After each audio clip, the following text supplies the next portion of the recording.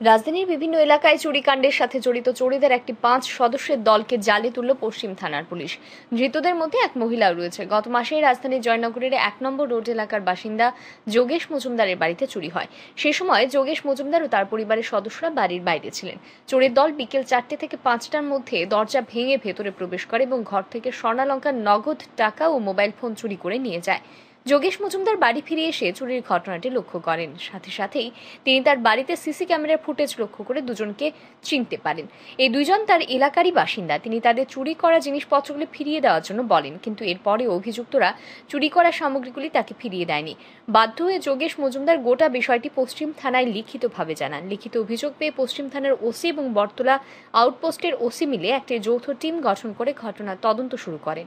রবিবার রাতে এই দলটি বটতলা থেকে দুই অভিযুক্তকে গ্রেফতার করে। পরে তাদের জিজ্ঞাসাবাদ চালিয়ে এক মহিলা সহ আরও দুইজনকে পুলিশ গ্রেফতার করে। সোমবার সদর মহকুমা পুলিশ অফিসার দেবপ্রসাদ রায় এই সংবাদ জানান। জয়নগর রোড নাম্বার ওয়ান একটি চুরি হয়। এটা গত মাসের ঘটনা। চুরি হওয়ার পর যুগেশ মজুমদার, যার বাড়িতে চুরি হয়, যুগেশ মজুমদার উনি একটা লিখিত অভিযোগ পশ্চিম থানায় করেন যে ওনার বাড়িতে ওনার অনুপস্থিতিতে বিকেলবেলা চারটা থেকে পাঁচটার মধ্যে একটা মানে চুরের দল বাড়িতে ঢুকে এবং ঢুকে বিভিন্ন জিনিস বলতে ক্যাশ টাকা, সোনার জিনিস, মোবাইল, ঘড়ি, এসবগুলি নিয়ে যায়। পরবর্তী সময় উনি যখন বাড়িতে ফিরেন, বাড়িতে ফেরার পর উনি ওনার সিসি ক্যামেরা দেখে কয়েকজনকে আইডেন্টিফাই করতে পারেন। উনি নিজেই আইডেন্টিফাই করতে পারেন। আইডেন্টিফাই করার পর উনি ঘটনাটি গিয়ে ওদেরকে জিজ্ঞেস করে বলে যে, আমার জিনিসগুলি তোমরা দিয়ে দাও, নয়তো আমি থানায় অভিযোগ করব।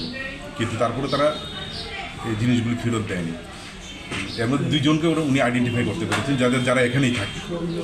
তো পরবর্তী সময় উনি থানা থেকে এফআইআর করে, সে অনুযায়ী আমরা কেসও নেই এবং আমরা ওদেরকে খোঁজ খবর করতে করতে করতে গতকালকে পশ্চিম থানার ওসি এবং বরতলা আউটপোস্টে যে ওসি আছেন শুভজিৎ একটা টিম গঠন করে টিম গঠন করে এদের বিরুদ্ধে অভিযান চালিয়ে এদেরকে কালকে অ্যারেস্ট করা হয়, রাত্রিবেলা। বিভিন্ন জায়গা থেকে।